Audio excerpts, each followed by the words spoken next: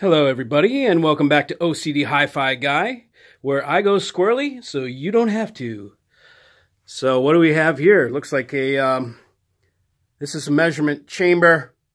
Uh, this is uh, this is how you test a speaker if you really want accurate data, as good as you can get inside a listening room. Uh, you First of all, you got to get a microphone and some software. Okay, so we got a mic here with a USB. It's a USB mic. It goes right over to this laptop that is dedicated to uh, measurements. Um, no internet or whatever on it. Uh, so you can hear, see, it's picking me up speaking right now. Ah! See, yeah, okay. Um, anyways, um, so, okay, so you get the mic in here. We got some of these little um, room dividers. You know, these are actually um, GIK Acoustics. So these are, these are actual room panels, okay? We put those on the sides to keep any sort of reflections down. We got the mic in the middle it's uh with because this is such a long panel, you know, from top to bottom, we want to aim it right about in the middle. So back here and we pull it back a little bit so that we're getting equal sort of arrival times, better arrival times than if we put it real close. Put it real close, we probably get cancellations because of these being so far away, the, the arrival time to the mic, if you know, from the top and bottom. So we pull it back a little bit. It's about maybe five or six feet from the um, panel itself. We did some testing on that mid, um, which is really um, the on-wall Maggie, um, and then uh, did some testing on everything else. And um, uh, this is a very accurate way to know what you're dealing with. Um, what I do is, first thing we do is we check all the driver frequency responses. And I go back around here where the crossover is, completely bypass the crossover. You can see right here, here's my speaker cables. And they're coming in from the amp and um, I just clip lead on some uh, some wire, and it goes right over to the tweeter. I was just checking the tweeter two seconds ago, and so you put a big cap on there. That's a 68. So you put like a 50 or, or, or better, somewhere around there. On the positive of the tweeter with something like a ribbon, just because if you get a thump when you turn off the amp or whatever, you're going to pop that ribbon. So um, a cap on there is a little protection, um, keeps things safe. So we went through, um, measure the mid, the tweeter, the woofer, and get readings, and then we can see where their optimally, where, where their optimum uh, operational frequency range is. And then we can we can design our own crossover based on those results. You know, and we, we try and optimize the drivers. Now, what we've realized here, measuring this thing, is that that mid-range, God knows why it's even there.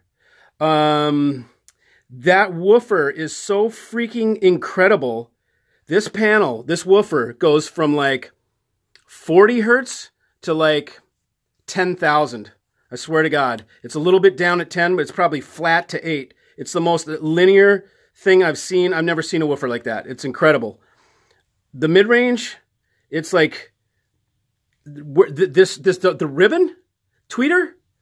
Dude i just i just measured the ribbon tweeter. It's like i can't either either i'm messed up or or it's for real but it's it's goes from 20 down to like 300 hertz. Um i i, I took a i took a uh, snapshot of the um of the readout. Let's see um oh it's in my folders. I'll have to find it but i'll, I'll show you what it looked like. Let's see. See if i can find it right here. Um i, I couldn't believe it. I'm like you got to be kidding me Okay, let's see. Uh, well, I'll find it and show it to you in a second. But anyway, so we set up the mic. The mic goes, um, you know, down in this little gauntlet with the panels on either side. And then you do the sweeps. I've got over here um, on the rig is, um, you know, on the Dayton audio. And this is what, you know, monophonic short sine sweep. So you play this and it goes weep, weep, weep. Let's see if I can get it. Do it. Can you hear that? Look. See how nice that is? That's a tweeter. I'm messing it up with my voice down there, down low, but look how look how nice and flat it is all the way out to 20.